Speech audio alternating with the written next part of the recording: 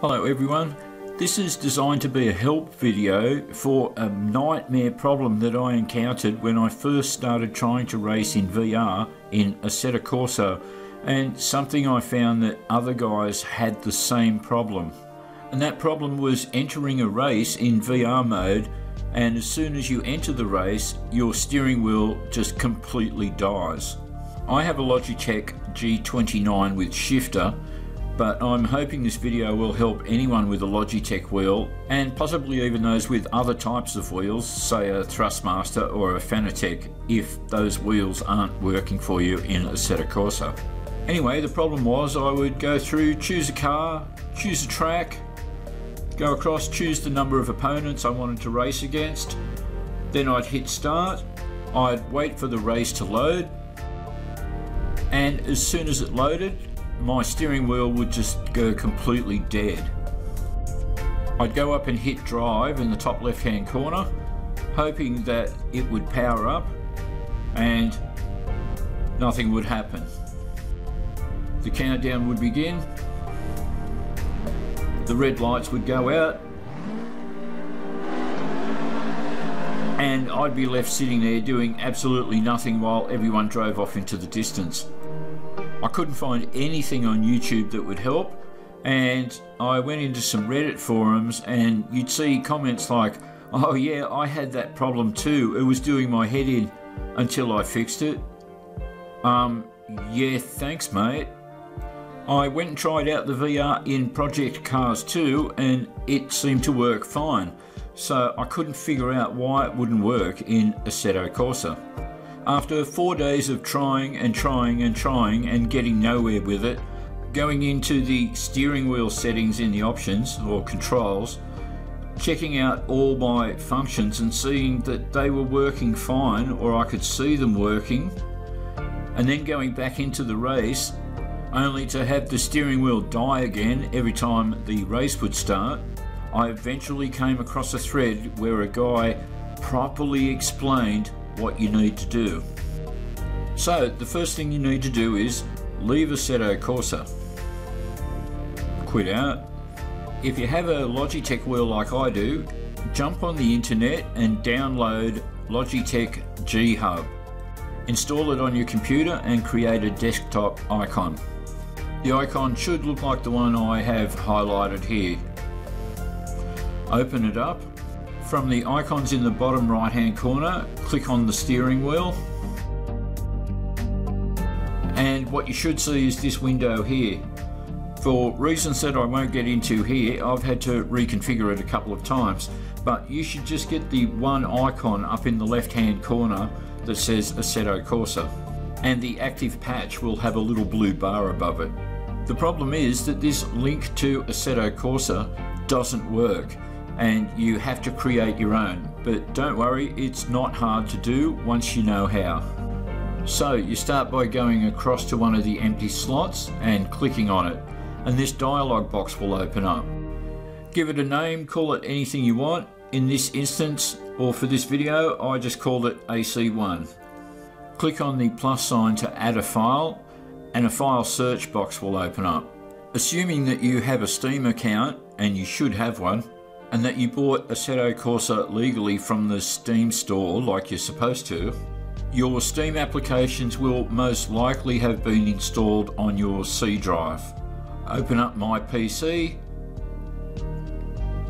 double click on your C drive to open it, go down to your Times 86 program files, open that folder, open up your Steam folder, then go to Steam Apps Open that. Then open the folder that says Common. And finally open your Assetto Corsa folder. Inside that folder is the file you're looking for, the Assetto Corsa application. Pretty easy to spot by the Assetto Corsa icon. Double click on it. That will load it into the Logitech G Hub and you can see it there loaded and then go down and click OK. And there it is loaded, AC1 with the blue bar above it to show that it's the selected patch. You're done. you can now close the G-hub. Now that you have a patch for your steering wheel to connect between Logitech and Assetto Corsa that's going to work, reopen Assetto Corsa and configure your steering wheel.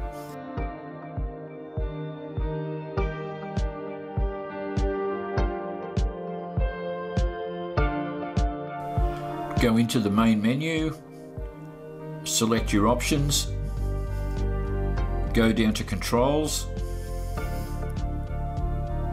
select your steering wheel, in my case G29 with shifter, just click on it once and you'll see it load.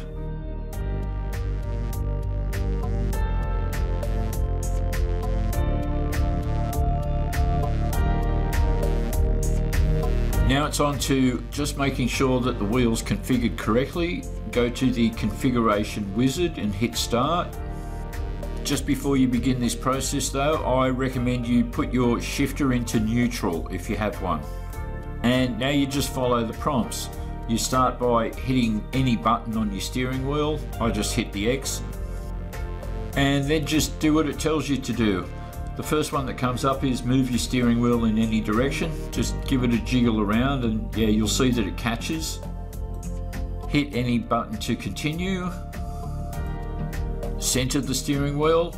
Hit any button to continue. Turn your steering wheel 90 degrees to the right. Try and get it as accurate as possible. Hit any button to continue. Spin your wheel all the way to the left until it locks, then all the way to the right until it locks, then recenter it and press any button to continue.